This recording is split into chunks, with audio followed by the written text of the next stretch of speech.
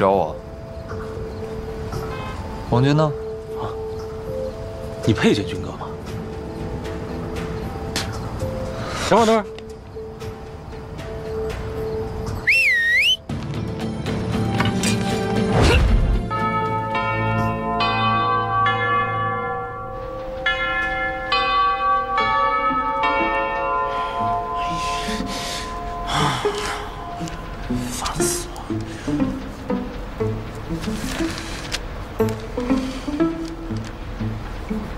嗯。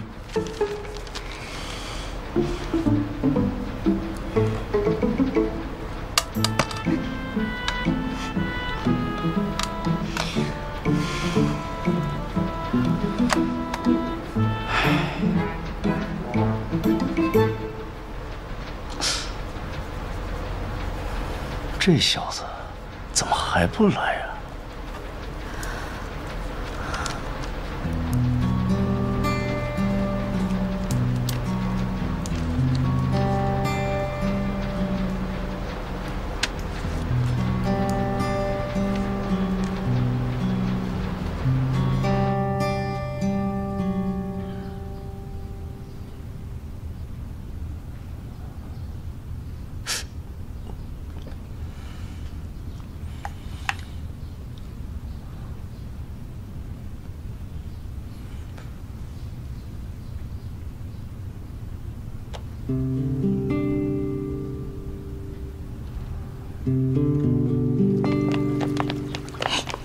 阿鱼来了，找言辞玩吗？嗯，这是我爸爸寄来的水果糖，我分给言辞尝尝。阿鱼真乖，不过我们正在拍全家福呢，然后你可以到那边先坐一会儿，等我们拍好了，让言辞找你玩，好不好？嗯。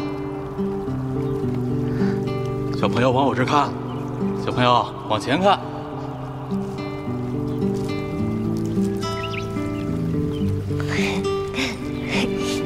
哎，往这儿看，一、二、三。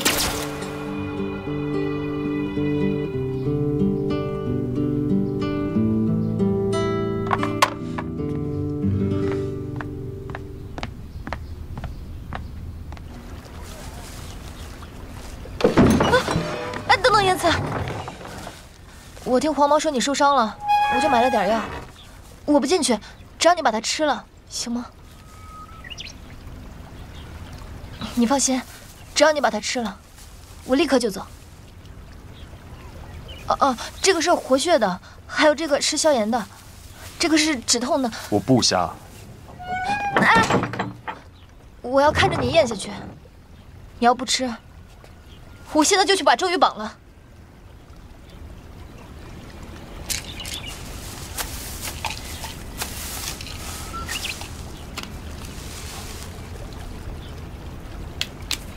我不明白他哪里好。你能挡一次，还能护他一辈子吗？事情从他开始，军哥不会放过他的。说完了，让他试试。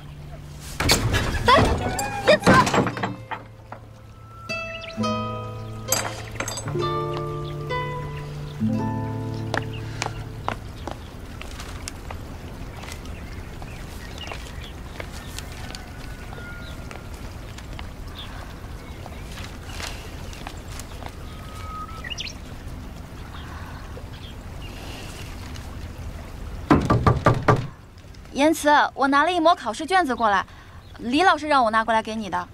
这次考试难度不大，你肯定没问题的。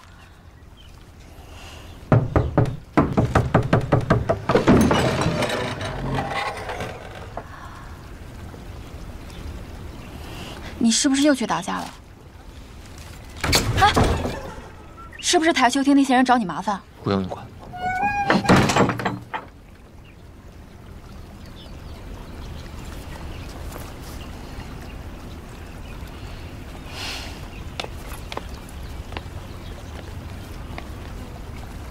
想知道言辞为什么会受伤吗？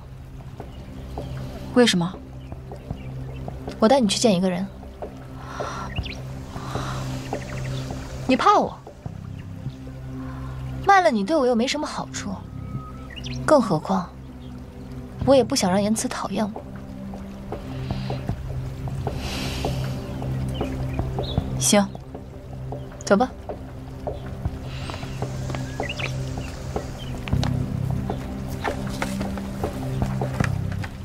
阿鱼这个没良心的，竟然不等我自己先走。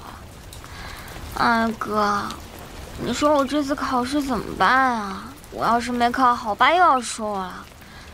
要是我们能换换脑子就好了。程宇章，想什么呢？我发现你最近总在走神，你该不会是有喜欢的人了吧？哎，你告诉我呀，我可以帮你牵线。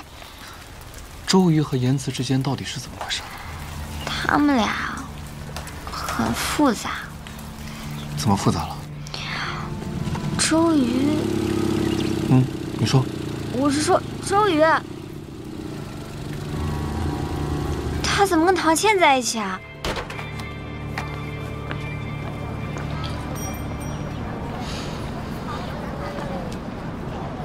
我最讨厌你这种圣母样。我也不喜欢你。你自以为了解所有人，其实你什么都不知道。军哥就在里面。军军哥，怎么？你怕了？你不是口口声声说要保护言辞吗？走吧。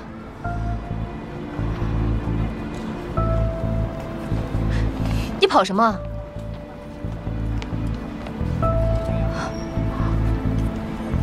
带他来这里做什么？他坏了军哥的事情，当然他来解决。王军是什么人？他不知道，难道你也不知道吗？你想让他死在这里吗？他自愿的，我又没有逼他。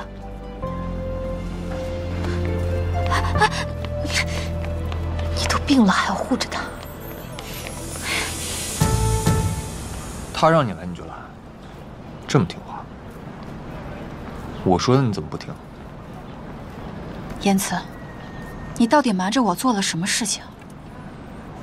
不用你管，我说过了。言辞，我只是喜欢你，喜欢你有错吗？